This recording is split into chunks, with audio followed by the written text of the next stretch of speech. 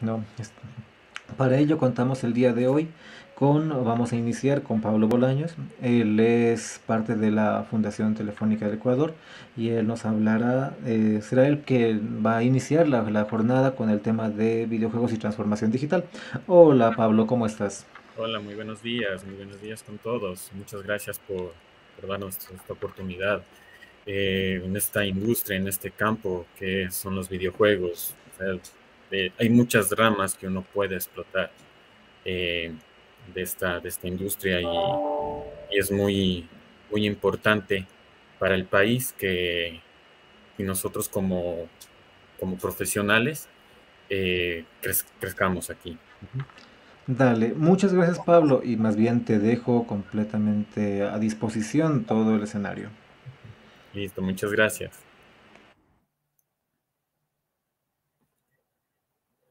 Bueno, yo les voy a hablar un poco sobre los videojuegos y la transformación digital, ¿no?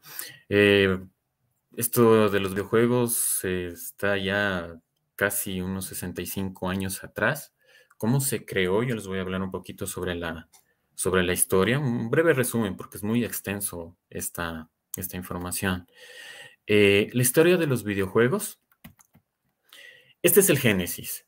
Ese es uno de los primeros dispositivos eh, de videojuegos, ¿no? Era un dispositivo de entretenimiento de tubos de, rayos catódicos, ¿no? Eh, se crea en 1947, inspirado en los radares de la Segunda Guerra Mundial, y se lo construyó pues con un osciloscopio, ¿no?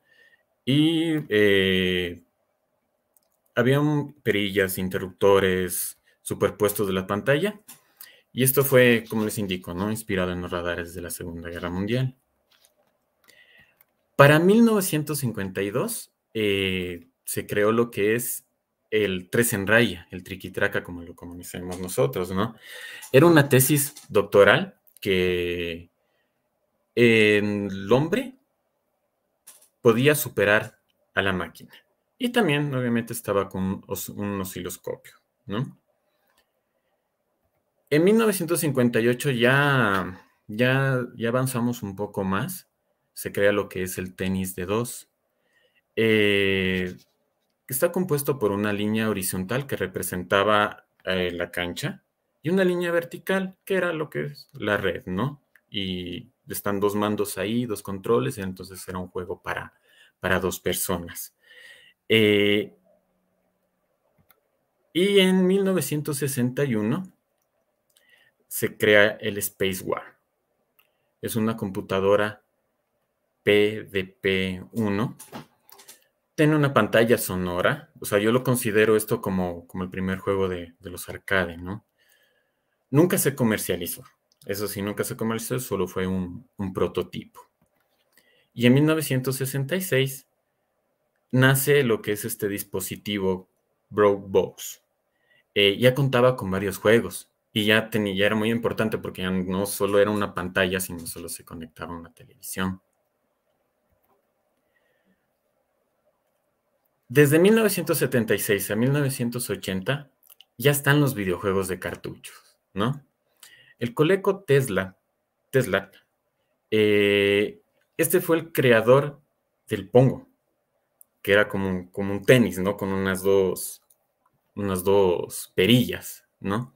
Y nace también lo que es la industria del Atari. Eh, nace también aquí eh, su juego insignia, el Black Code.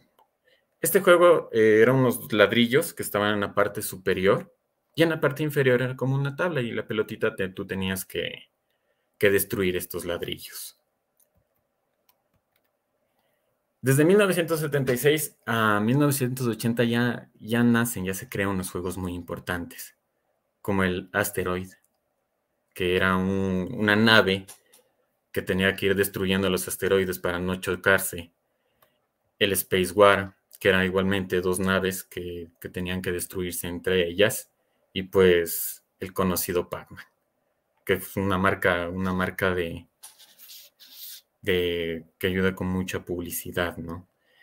Eh, ya en los años 80 aparece el Nintendo NES Fue lanzado en 1983 y todos creo que conocemos esas, esas leyendas de los videojuegos como el Jumpman, más conocido como, como Mario Bros. Zelda. Recuerden que Zelda es la princesa, porque el espadachín se llama Link, ¿no? Eh, Boberman, que es un robot que tenía que ir por un laberinto y destruyendo, destruyendo ladrillos para poder pasar al siguiente nivel. Y Donkey Kong. Donkey Kong es, obviamente, no te lanzaba lo que es las, los barriles y tú tenías que subir por esta plataforma que está ahí para poder rescatar a una princesa que se llamaba Pamela. Metroid. Metroid es un juego súper importante. ¿Por qué? Porque el personaje principal, no sé si la mayoría lo conozca, porque yo recién hace un par de años dije, ah, el personaje principal es la primera mujer, un personaje femenino, que era una casa recompensas que tenía que ir a un, planeta a investigar y eh, recuperar un dispositivo que se lo conocía como Metroid. Los 80 seguían marcando con el Atari. Les cuento que esa fue mi primera consola, el Atari 7800. Esta fue lanzada en el 86. Hubo juegos que marcaron mi infancia, como el Enduro, el Galaga, el Pole Position y el E.T. No sé si, si recuerdan que este juego eh, tuvo una mala fama, lamentablemente no, no fue muy bueno y Atari tuvo que enterrarlo las, copias en, Nuevo México. Y recién creo que en el 2013, eh, una empresa que estaba, que estaba interesada en armar un documental sobre este, sobre este videojuego, eh, recuperó los cartuchos. Inclusive recuperó algunos cartuchos de, Atari. Seguimos con los 80. En los 80, Sega lanza su primera consola, la SG-1000. Eh, también es lanza lo que es el Master System y el Mega Drive Genesis. Muy linda era esa consola, yo la, yo la jugué. Y pues a finales de los 80, para hacer la competencia a Mario, eh, crean lo que es Sonic. Hay un documental que es que es súper interesante, no lo sé si todavía está en Netflix, lo, lo vi yo ahí, eh, que se llamaba La Guerra de las Consolas. Entonces ahí explicaba cómo Nintendo y cómo Sega eh, competían por ganar mercado. Hasta los años 90, hasta que llegó PlayStation y pues todos sabemos cómo es Sony con PlayStation hasta ahora. Los 90. Esa es una década que sí marcó a muchos. O sea, personalmente para mí los 90 me, me lleva mucha, mucha nostalgia en los videojuegos. Eh, ya estuvieron las consolas como el Super Nintendo, el Nintendo 64, ya con los juegos en, 3D, en tercera persona. Eh, aquí nace la, PlayStation.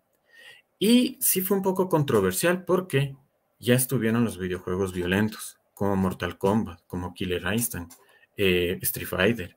Y pues el, el, juego más sangriento para mí de la época, que era Dom. Dom era un videojuego que igual ibas creo por un laberinto y tenías que matar monstruos, evitar lava, eh, evitar residuos radioactivos. Eh, recuerdo cuando era chiquito, Mortal Kombat sí, sí, sí, sí, sí era, sí era muy violento para la época, ¿no? O sea, qué, terrible hacer un fatality, sacarte el corazón o, sacarte la columna vertebral para la época sí fue muy controversial, ¿no? Eh, y vamos acá pues al, a la revolución del, de los videojuegos, el siglo XXI, la nueva era de los videojuegos. Hay una revolución en la jugabilidad, pues eh, en los años 90 era el control conectado a la, consola y tratar de no pasar por ahí, porque si no se iba al piso la consola, el control y ahí quedaba todo, ¿no? Eh, ya estuvieron los juegos en línea, los mandos ya eran inalámbricos, ¿no? Y la oportunidad de conectarse con otros países y otros continentes o sea, fue una revolución. O sea, personalmente eh, yo juego, juego, juego, mi consola preferida es PlayStation y, tengo algunos amigos en España, en Argentina, en Chile, entonces uno se conecta con, con todo el mundo gracias, a, gracias al Internet. Y pues los llamados eSports. Los eSports son las competencias deportivas que más tardecito, más despuesito les, les explicaré en qué consiste. La cultura de los videojuegos. La cultura digital. Los videojuegos, claro que forman parte de la cultura digital. Es un paquete cultural, porque ¿qué contiene? Contiene música, contiene literatura, es como que estuvieras armando una película. Es un arte. Es un arte prácticamente digital. La música es algo que a mí me marca bastante en los videojuegos. Les digo mm, personalmente mi experiencia como, como gamer, para mí es una máquina del tiempo, porque con un solo sonido, a mí me regresa a los recuerdos de los años 90. O sea, aquí tengo un honguito. Entonces, este sonido ya me recuerda a que Mario tomó un honguito, pues creció o Mario, Mario tiene balas, ¿no? Este es un, les cuento una anécdota sobre, sobre este honguito. Eh, este honguito, mi cuñada le regaló a mi hijo, mi hijo tiene cinco años, por Navidad. Y, mi esposa me hace reír y me dice, ¿a quién le regaló el honguito? ¿A ti o a nuestro hijo? Entonces yo me río y digo, porque lo tengo yo y me río y digo, eh, le regaló a mi hijo, pero creo que yo se lo voy a cuidar para que no se dañe. Ya cuando se case se lo entrego. Eh, las bandas sonoras de, la, de, de los videojuegos son, son impresionantes. Por ejemplo, eh, la imagen que detalla ahí eh, del, de Mario bajando la bandera, tengo recuerdo de 1992 cuando era chiquito, amanecía un sábado jugando. O no sé si recuerdan tal vez la banda sonora de Togir. Para unos sí un poco escandaloso, ¿no? Todo, todo el sonido. Pero eso me lleva a 1997 con el Super Nintendo. Pitfall. Pitfall, me encanta esa banda sonora. Eh, Pitfall es como un Indiana Jones que, tiene que descubrir un tesoro y salvar a su padre. ¿Quién es el padre de Pitfall? Y me, faltó de comentarles sobre eso. Eh, en Nintendo hay un muñequito de color verde. Él es el, el Pitfall original, que tenía que pasar por unas, por unos, por una lava, por arena movediza, por tenía que subirse a unas sogas para no caerse. Otra banda, no es tanto banda sonora, pero las radios de GTA eh, de Grande Auto me, me, encantan. Yo cuando juego GTA, soy fanático de GTA, o sea, sigo toda la saga, eh, porque es un mundo libre. Tú puedes hacer roleplay, tú puedes hacer, hacer lo que quieras, o sea, tienes esa, esa facilidad. Y cuando yo hago una, una misión y pues ponen self-control de, de, Laura Branigan, no me bajo del auto hasta que se acabe la canción porque, porque tiene, esa canción me encanta, aparte eh, tiene unos, unos buenos discos, unos buenos intérpretes. El arte de los videojuegos. O sea, los videojuegos son una obra de arte. Eh, estaba yo leyendo que, y los voy a leer aquí, que Permítame. Eh, está respaldada y valorada sobre por la Corte Constitucional de los Estados Unidos, porque hay un poco de controversia, dicen unos que unas personas que no son un arte, ¿no? Que es un ocio. Eh, pero no, o sea, hay que considerar que los videojuegos es un arte, porque tú estás creando una película. Eh, los desarrolladores son unos artistas, son cineastas, son escritores, son músicos en el momento de, desarrollar el videojuego, pues y colocar cada, cada, cada parte, cada configuración en, en, su lugar. Entonces, para mí, los videojuegos son una obra de arte. Las historias dentro de los videojuegos también es algo que a mí me llena bastante. ¿Por qué? Porque yo me identifico, o no sé si les ha pasado a los, a los fanáticos con el personaje principal yo me involucro en la trama. Eh, también experimento sentimientos, como por ejemplo, estos son uno de los juegos que me han impactado bastante. Zombie U de la consola de, Wii U. En el 2013 yo la jugué y jugar de noche solito con el gamepad, que era una pantalla chiquitita, eh, era terrible. Yo no quería salir de la base porque te caía una horda de zombies y te vibraba ese aparatito y la pantalla y sonaba Entonces, sí, uno, uno involucraba esos sentimientos de, miedo. Otra trama que, sí es, es un, para mí es uno de los mejores juegos es Red Redemption 2. Eh, la historia, él se llama Arthur Morgan, es un bandido que, que llega a lo que es la redención. Y lo interesante de la jugabilidad de este, de este videojuego es que te da a ti la oportunidad de ser un mal personaje o ser un buen personaje.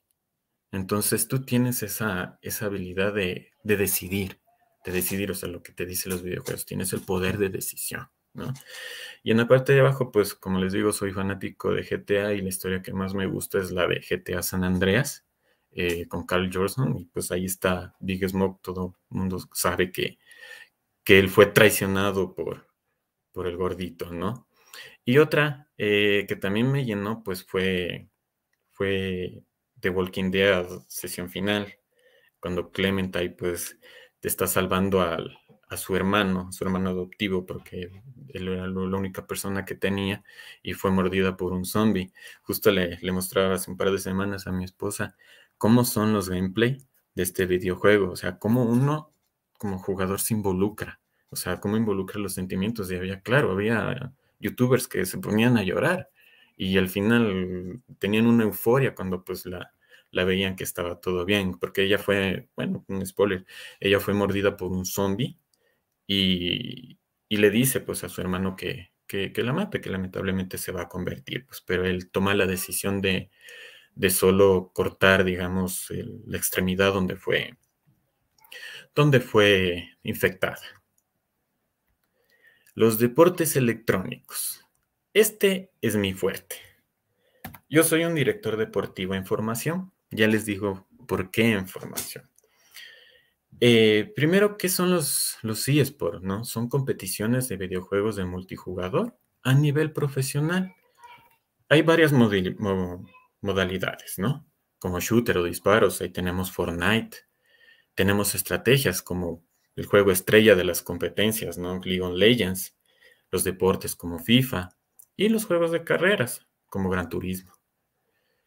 Eh, la importancia de los deportes electrónicos es que ya está prácticamente abarcando todo. Está ya siendo, eh, como, siendo como el segundo deporte eh, después del fútbol con la cantidad de seguidores que tiene.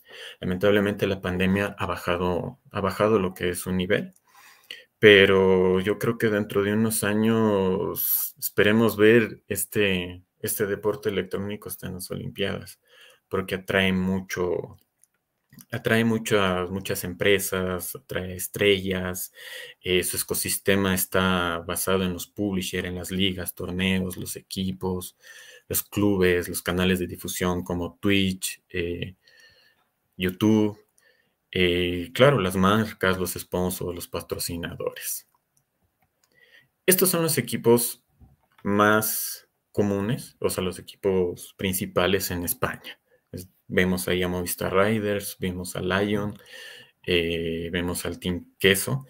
Eh, también hay un, equipo súper importante que se lo conoce como Vodafone. Entonces, esperemos que como desarrolladores tengan este canal también de desarrollar un juego que nos permita competencias deportivas.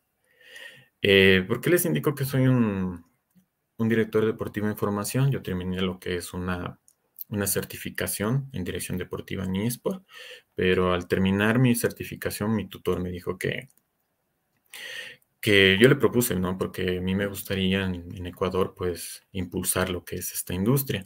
Y me dijo que primero lo que hay que hacer es evangelizar. Y qué, y qué importante que es empezar a evangelizar, pues, por este tipo de eventos entonces, como desarrolladores, pues ustedes tienen una, un gran campo, una gran rama para crear estos videojuegos. Hay que, creer, hay que creérsela, ¿no? Hay que creérsela porque todos somos capaces de, crear. O sea, no, nada es imposible, no hay nada, no, no existe un imposible. Y como desarrolladores, pues espero que, espero que les, que les vaya muy bien Espero que tengan mucha creatividad y que sus juegos sean reconocidos por las grandes empresas de desarrollo. Muchas gracias.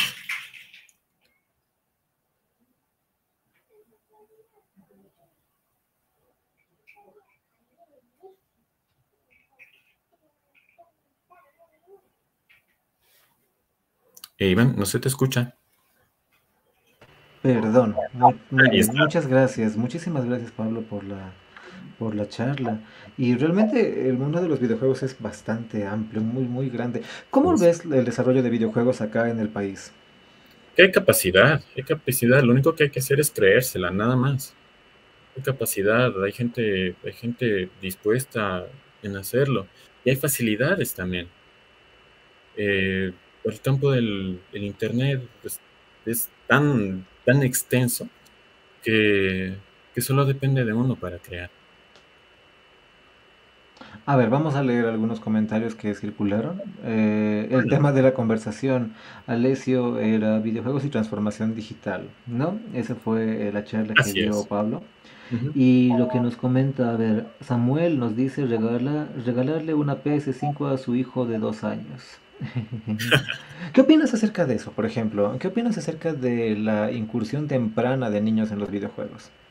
Eh, sí, es, o sea, depende del videojuego, ¿no? Porque los videojuegos como una película, tiene sus clasificaciones. O sea, yo a un niño no le, no le pongo a jugar zombies, algún juego de zombies o, GTA, eso es para mayores de 18 años. Pero sí podría ah, hacerle jugar Minecraft, que, que, construye, crean. Entonces eso les ayuda al desarrollo de los, de los niños. Ok, luego hay otro. Eh, los de los zombies me recuerda a la película World War Z. Dice, en la parte de la chica militar que le cortaron la mano porque no querían dejarla morir. Mm, ¿Qué más?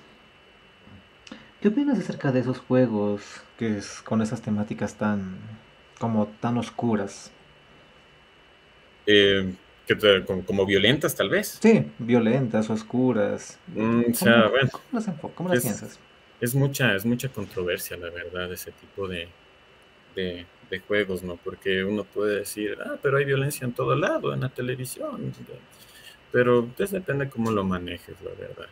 O sea, primero, si yo tengo un hijo de 15 años que va a jugar un Resident Evil, o sea, prefiero decir, explicarle, ¿no? Que eso es fantasía, eso es así, eso fue creado por, por una compañía y, y, no más, o sea, no, no, no más, eso es, eso es ficticio, nada más.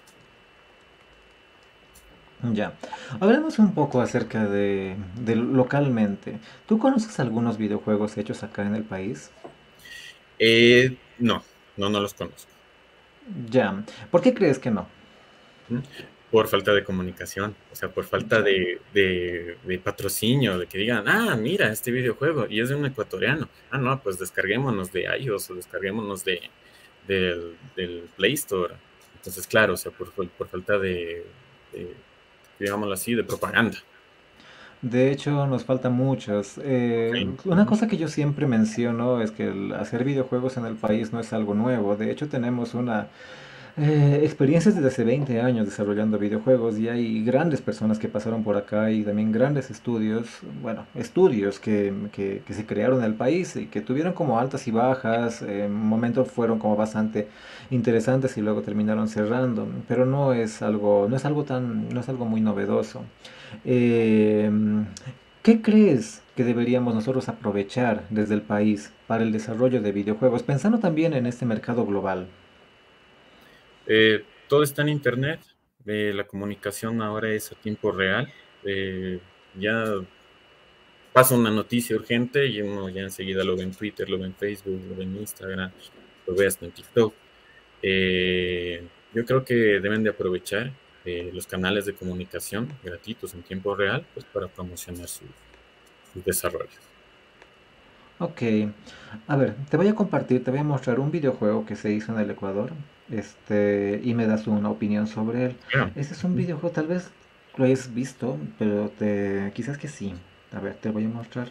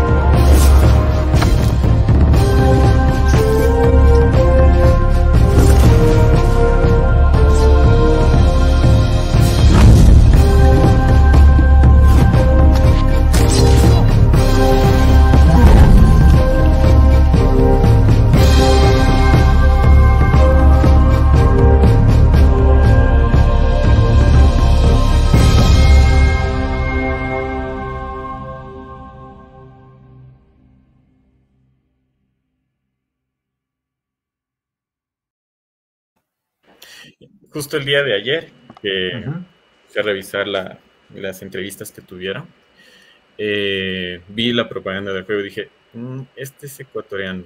Pero claro, como estaba atareado para preparar la exposición el día de hoy, tomé nota del, juego y, de la, y del desarrollador para, para revisarlo el día de hoy. ¿En qué plataformas está? Oh, se está corriendo para, para Windows, eh, se está vendiendo en Steam. De hecho, tiene algunos premios. El videojuego se llama The Garden of Lore, está desarrollado por el estudio Round 2 Games. Fue desarrollado, tiene un como de unos dos años creo que estuvieron en desarrollo ellos. Salió el año pasado y el director ejecutivo se llama este Leopoldo Artstein, que queríamos que esté presente para esta edición del Global Game Jam, pero eh, tuvo que viajar, entonces no pudo estarlo. Sin embargo, estarán a las 6 de la tarde hoy, estarán dos personas, Carlos Segas y un compañero más, hablándonos un poco acerca del desarrollo de este juego, que fue el último juego desarrollado en el país como bastante promocionado. Anteriormente hubieron otros, ¿no? Que, que también fueron muy, muy, muy, muy afamados, que es que salieron hace un par de años, pero intentábamos como darle un poco más de visibilidad a, The Garden of Lore. Y lo que es interesante son como las temáticas que trata, ¿no? Y es una temática muy recurrente dentro de los videojuegos latinoamericanos, la explotación de las temáticas indígenas, ¿no? Este, no sé qué opinas, por ejemplo, sobre eso. Eh, sí, sabes que justo estaba leyendo un, un comentario y, y, algo que muy importante que también quisiera comentarles, eh, que uno, uno aprende también con los videojuegos, uno aprende historia. O sea, yo aprendí sobre las dos guerras catastróficas jugando Call of Duty, jugando videojuegos, Medalla de Honor. Eh, hay un juego que aprendes de la mitología griega, Kratos. Eh, y, cuando me invitaron a, a dar una charla, me puse a pensar, ¿qué puede impulsar Ecuador para, para hacer, en los videojuegos, para hacer para ser una, para ser una potencia. Y decía, eh, ¿por qué no empezamos con la historia ecuatoriana? Y ahí dije un comentario en mi mente, dije, ya, pues, hagamos un Call of Duty batalla de Pichincha. Entonces, algo así. O sea, aprovechar los desarrolladores, pues, para hacer videojuegos eh, que se basen en nuestra historia del imperio inca, eh, invasión del imperio inca hacia el territorio ecuatoriano, puede ser. Chévere. Bueno, hay muchísimos, de hecho. Eh, hay muchas ideas. Lo que nos falta también son uh, financiamiento, fuentes de financiamiento. Como te das cuenta, hacer un videojuego no es algo tan barato a niveles competitivos. Cuesta millones y la cantidad de gente que está involucrada haciendo un videojuego, en muchos casos ahora supera la cantidad de gente que está haciendo películas, ¿no? Eh, y esa va otra pregunta. ¿Cómo podríamos nosotros financiar videojuegos en el Ecuador?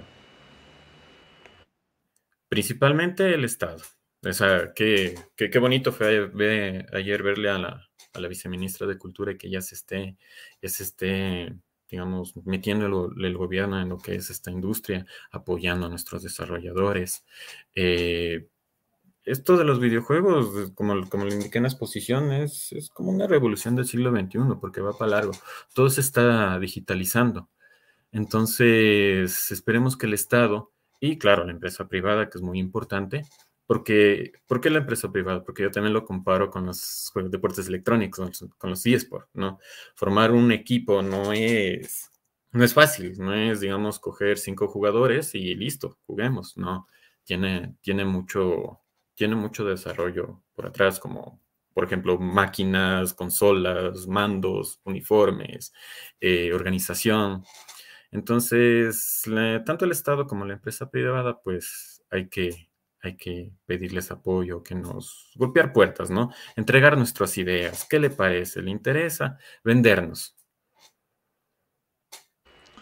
Listo. Bueno, muchísimas gracias, Pablo. No sé si quisieras decir alguna cosa más para despedirte. Que muchas gracias, muchas gracias eh, por, la invitación. Eh, soy un apasionado de los videojuegos. No los desarrollo, pero sí me gusta la historia de los videojuegos. Es extensa, me hubiera gustado eh, decir cómo fue, porque la primera idea de los videojuegos fue en 1912 por un español que hizo un prototipo eh, con un ajedrez. Me hubiera gustado contarles más sobre eso. Eh, y hay que seguir para adelante. Eh, somos capaces, tenemos que vendernos y aprovechar los canales digitales. Ok, antes de que te vayas, hay una pregunta que está bastante insistente. Dice, ¿qué tal los juegos donde un personaje tenga un problema mental o algo así? ¿Cómo ves ese tipo de temáticas? Hijo. O sea, puede abarcar muchas, o sea, muchas historias, ¿no? Puede abarcar, eh, no sé, tal vez eh, puede ser un, personaje con síndrome de Down, que sea un deportista olímpico. Eh, puede ser un un personaje, no sé, tal vez que, que tenga alguna enfermedad catastrófica, pero mm, pudo, pudo descubrir una, una, una, cura, tal vez él o un familiar, tomando en cuenta pues lo, lo, la catástrofe que tuvo. Listo, ok, perfecto. Bueno, nos queda claro que el mundo de los videojuegos es extenso, la historia, las temáticas, y es que es un arte en sí, un arte Sí, que tiene que ser tratado como tal, ¿no? Y también esperamos de que las autoridades y también la empresa privada le dé más importancia al desarrollo de videojuegos en el país. Nada, pues muchísimas gracias, Pablo, y esperamos contar con tu participación en otro momento y también con, para conversar contigo. Nos veremos, nos veremos. Adiós. Muchas gracias, hasta luego.